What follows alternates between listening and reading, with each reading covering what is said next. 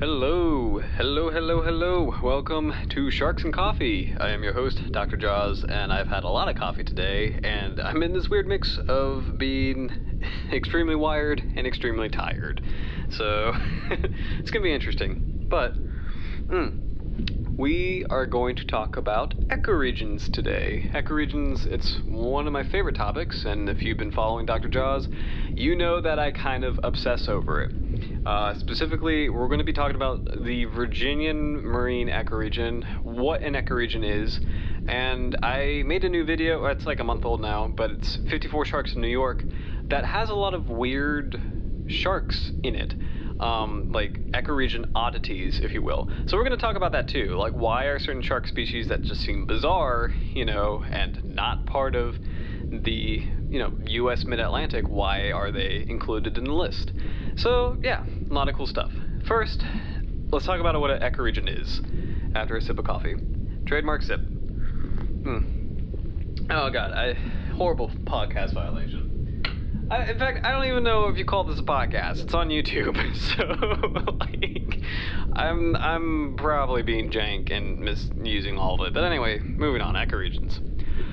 Uh, so ecoregions are it's a really nice shorthand way to say a really big part of the ocean that is unique.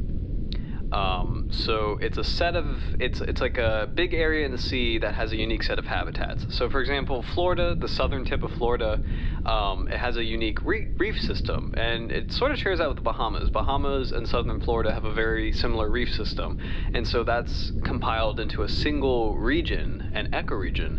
Um, and I think that one is called the Floridian ecoregion. Now, ecoregions, uh, a couple different groups have defined them. Um, so the United States has its own idea of what its ecoregions are. I believe that is called ecoregions of North America. But the one that I always go to is Marine Ecoregions of the World. Acronym is MEOW, which is fantastic. Uh, but um, Marine ecoregions in the world is my default, um, and that's how I kind of do the Dr. Jaws stuff. If I ever talk about ecoregions, those are the ecoregions I cite. And why ecoregions are really handy um, is just it's a great way to sort of compartmentalize the sea a little bit uh, in, as, far as conservation goes. It's a way to kind of identify what habitats are unique, uh, where which areas might have endemic species, like if there's a species living in this specific area you know, is it is it unique to this area? Does that make this area unique? Um, it's it's a really great way to make big conservation problems a little bit more packageable and smaller and better to identify. And it's complicated to explain why that is, but case in point, I mean, it's just organization. It's really handy, and I I love ecoregions. It's like there are these 200 or so puzzle pieces um, that make up the, the coastal sea. Um, and we, we only have coastal ecoregions. You know, we haven't really defined a lot of deep areas yet. There's still a lot to explore, uh, which is really cool. But anyway, the um, on the east coast of the United States, where I hail from, there are how many are there actually? You've got the Gulf of Maine and Bay of Fundy, so that's one. From north to south, from Maine to, I'm going to include Texas on the East Coast. Um, they some they call that the Gulf Coast here, but anyway. Um, so from Maine to Massachusetts, that's the Gulf of Maine Bay of Fundy.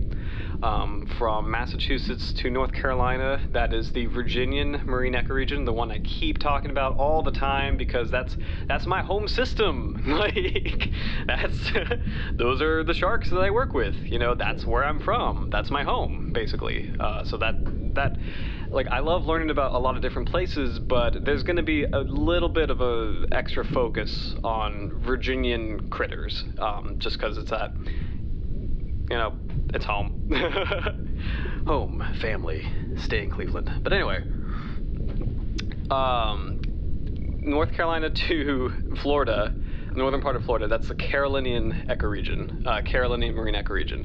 Southern Florida, just the tip of southern Florida, is the Floridian marine ecoregion, and then between uh, the Gulf Coast of Florida and Texas is the northern Gulf of Mexico. So these are all, how many is that? I'm not even counting. Is that five? Yeah, that's five. It's, it is that late. Five.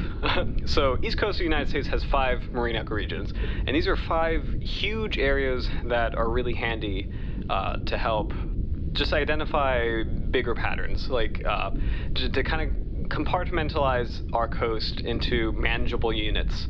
Um, and to really just to notice bio, biological patterns and biogeographical patterns in a, in a handy healthy way it's just it's just it's useful. It's, it's just a tool. It, it's making everything like a nice compressible puzzle piece uh, and i personally love it. So anyway we're going to be specifically we should specifically talk about the virginian. What makes the virginian ecoregion the virginian ecoregion like what makes it unique? What makes it special? Why is it different from the others? So let's start on the south side. Uh, so the boundary is a little vague and it varies between people. A lot of people like to say Cape, uh, Cape Hatteras is the southern extent of this part of the sea. Um, but I personally, I put it into Cape Lookout, Cape Lookout, North Carolina. Cape Hatteras and Cape Lookout are both part of North Carolina. They're part of the Outer Banks. Um, and they're part of this very important transition zone between subtropical species and temperate species. And the reason that is, is uh, if you kind of know ocean currents, uh, you've probably heard of something called the Gulf Stream. Gulf Stream is this gigantic warm water current that spins in the Gulf of Mexico, uh, comes up north alongside Florida, alongside Georgia, South Carolina, and then once it hits around Cape Lookout and Cape Hatteras in North Carolina, it starts to shoot out into the sea. So it's it's no longer going to be next to the coast. Uh, so on its way up, it's right next to the coast, and the water is warm. You get a lot of cool tropical and subtropical species. You get angelfish, moray eels, you get reef sharks, you know. But then shooting offshore at Cape Hatteras and Cape Lookout, that's a big change. That that's a lot of warm water not on our coast anymore, and that's it's just it means you know we won't get angelfish. I mean we do sometimes, but that's a long story. Hmm. But yeah, that's a big change. You kind of have this like cool water wedge, uh, you know, within the northern part of North Carolina. So the sound system, like Pamlico Sound, Core Sound, Albemarle Sound, which is more of an estuary, like a like a brackish, really, really. So it's not it's not super salty. But anyway, um, you know, all those areas are going to be cooler. Um, the coast off of offshore of Cape Hatteras and definitely offshore of northern Outer Banks, like Corolla, Duck, going to be cooler water, right? Um, so yeah, that Gulf Stream transition, very, very big, important transition. So that separates a lot of species. That makes the southern boundary of the Virginia marine ecoregion. And the Virginia marine ecoregion moves northward, um, including the Chesapeake Bay you know, off Maryland and Virginia, um, the Delaware Bay uh, off Delaware and New Jersey, or between them, I guess. Um, New York, which is why I called my video uh, 54 Sharks in New York. New York is kind of like the heart of this area. It's the heart of this ecoregion as a whole. Um, Long Island Sound and Long Island. Um, the vineyards, Mar- well, not the vineyards, but the islands like Martha's Vineyard, Nantucket, and Block Island. Buzzards Bay in Massachusetts, until finally we get to Cape Cod. Now, what happens at Cape Cod is that there's this big, uh, how do I say this? You got this giant bank uh, called Georges Bank um, that separate. It, it, it's kind of offshore. Um, well, I mean, it's on the continental shelf, but like it, it for whatever reason is a big biological barrier um, between the sort of temperate water species in the Virginia marine ecoregion and still temperate but colder species in the Gulf of Maine. For some reason, the bank and the ecology of the bank, it's just a big, it's another big transition zone. It's just a big geological feature that separates these two worlds. Um, and it's a, it's a very classically used uh, delineation as well. Uh, for some reason, just really cold, you know, tough, like, uh, can't think of a good example, but like cod-like species, or you know, like the Arctic big whales, or like you know, they just they like to hang out in the Gulf of Maine more than uh, they do here in the Virginian. So south of Georges Bank, it's just it's for some reason Georges Bank is a is a delineation. Um, well, there it is. So now between Georges Bank and the Gulf Stream lines, right, you've got this very interesting zone that is temperate. It's kind of a cool temperate, um, but it's a meeting place between warm water and cold water creatures.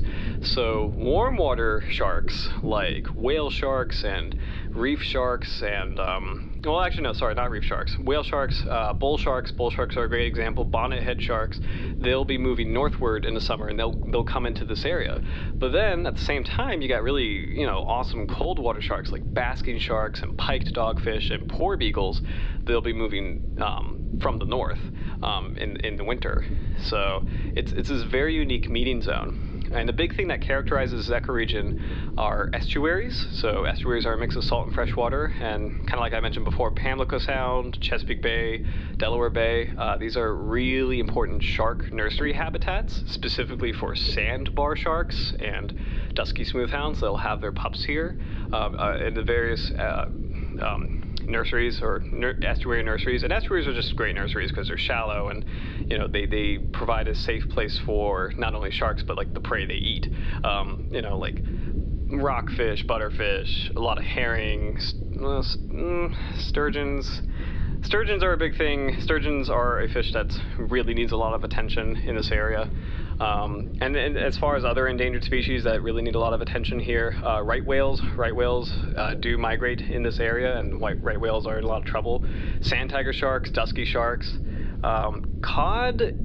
I know I mentioned cod earlier. Cod used to be big here, but that's they've really sort of they've dialed back. Dialed back is the best thing to say. I believe North Carolina actually had a cod like surprisingly enough, they had a big cod thing going on, but it's just a lot of over harvesting has, has really hurt their numbers. So, um, but anyway, the, the region is uh, big estuaries, a lot of salt marshes. Salt marshes are another big thing. Uh, very sandy, very silty, um, which it, it is kind of unique because when you get to the Gulf of Maine, the coast is really rocky, the water is really clearish, and well, the, the seabed is rocky. You know, um, when you get so, uh, farther south, like Carolina and Florida, it's it's sandy, um, and then on the west coast, it's all rocky and everything. But yeah, like here it's sandy and it has a huge uh, sediment input from the rivers. So, like, you know, the estuaries like the Chesapeake and Pamlico Sound and all the rivers that pour into them, like the James and the Roanoke.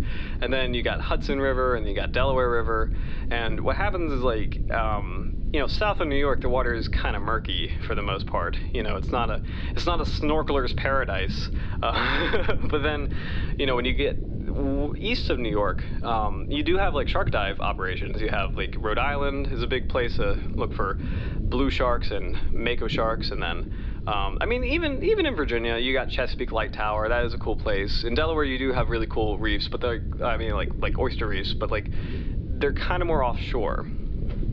Um, and I mentioned this, this is important to kind of mention because it's just, this ecoregion, it's the center of a lot of big marine life institutions, right? Uh, Woods Hole, for example, like Woods Hole, arguably, I mean, probably the most famous institution in the United States for marine uh, science, but arguably one of the world's most famous, if not the most. I don't know if I'm being arrogant when I say that, so, but Woods Hole is really up there, right? But then you got the Virginia Institute of Marine Science, you've got Rutgers University, you got SUNY Stone, uh, Stony Brook, you got Delaware uh, University, you've got the University of Maryland system, which has a lot of great uh, marine life programs for the Chesapeake Bay. You've got UNC Chapel Hill has a marine lab, uh, Duke has a marine lab um, in this area. So it's a big hotbed of research. And yeah, the nation's capital, like National Geographic, and you know, the heart of a lot of conservation places, and just um, I think OCEARCH might be headquartered in this region, actually. I, I, had to double check that. I know I just talked about them. Mm. But anyway, you have a lot of academic activity going on here, and yet it is not a very popular place. It is not well known for sharks, right?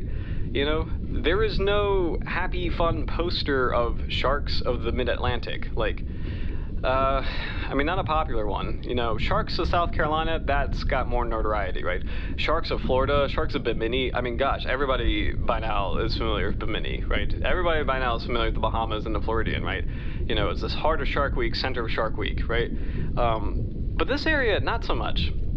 And I think it's it's probably I mean, I'm trying to figure out why that is, but you don't have like you don't have famous go-to locations here, and I, not for diving really at all, um, and not for definitely not for like shark stuff, except for you know Martha's Vineyard is where they filmed Jaws. That's really it. That's all I can think of, um, and I think the reason that is it's because of the region's unique geography, where since you do have a lot of rivers dumping a lot of sediment out, you're making the water cloudy. It's it's not a great place to to dive or to film, right?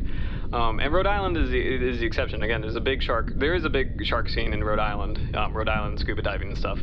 But you know that that is kind of offshore, and it hasn't accumulated the notoriety of. Um, you know, like tropical places, you know, or South Africa, you know, or Australia, you know, like uh, West uh, Western Australia and stuff like that. It's just like, for some, for whatever reason, and I, I think it's the geography.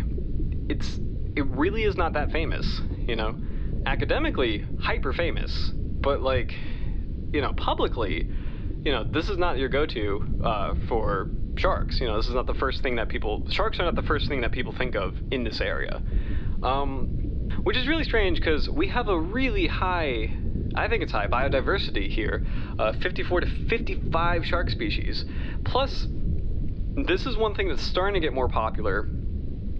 We have deep water canyons, like submarine canyons, really, really deep offshore.